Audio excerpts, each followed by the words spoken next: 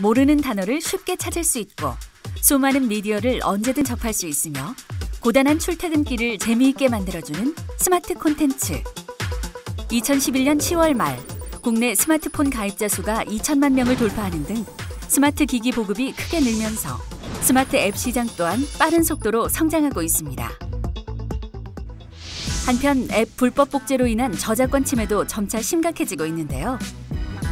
스마트 콘텐츠의 저작권 침해 어느 정도일까요?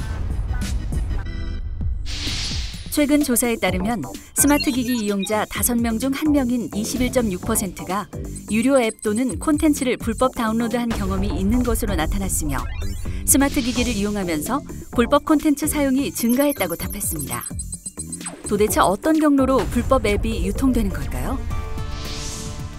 이용자들은 이른바 앱 암시장인 해외 블랙마켓과 웹하드 P2P 사이트를 통해 게임, 음악, 영화, TV, 유틸리티 순으로 유료로 지불해야 할 앱을 무료로 다운로드하고 있는 것으로 나타났습니다.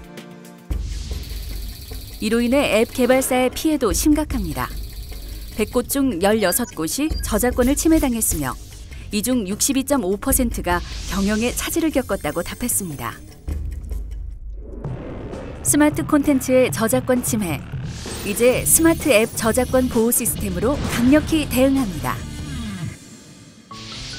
한국저작권위원회에서는 그동안 영화, 드라마 등 영상물과 음원 위주의 침해 대응 시스템을 마련하여 운영해오고 있었습니다. 그러나 최근 불법 복제 앱 유통도 심각해지면서 이에 대응할 수 있는 별도의 시스템이 필요해졌는데요. 스마트 앱 저작권 보호 시스템이 바로 그것입니다.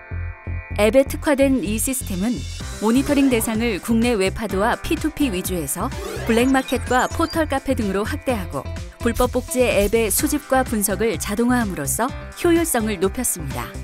스마트 앱 저작권 보호 시스템은 다음의 프로세스로 운영됩니다.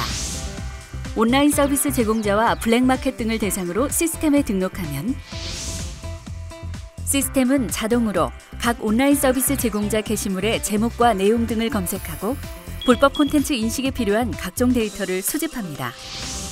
그리고 의심되는 콘텐츠는 자동으로 다운을 받아 이를 원본 특징점 DB와 연동해 실시간으로 비교 검증한 후 그 결과를 심의 시스템으로 보내게 됩니다.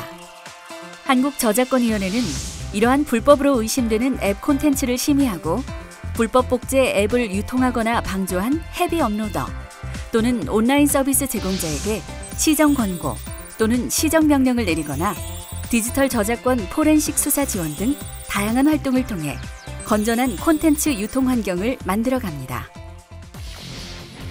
2012년 한국저작권위원회에서 구축한 스마트 앱 저작권 보호 시스템이 가동을 시작합니다. 하루에 약 12만 건의 데이터를 수집할 수 있는 강력한 성능을 기반으로 24시간 내내 불법 복제 앱의 유통 현황을 수집하고 분석하게 되는데요. 이로써 앱의 불법 복제에 대한 시정 조치 건수 등도 2012년에는 대폭 증가할 것으로 예상됩니다. 한편 불법 복제 앱의 이용과 유통을 적극 차단함으로써 청년 일자리 창출에도 기여할 전망인데요.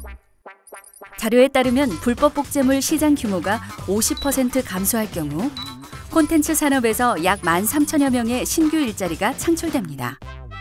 특히 20대에서 30대가 전체 고용의 80%를 차지하는 만큼 불법 콘텐츠 감소야말로 청년 일자리 창출과 직결된다 하겠습니다.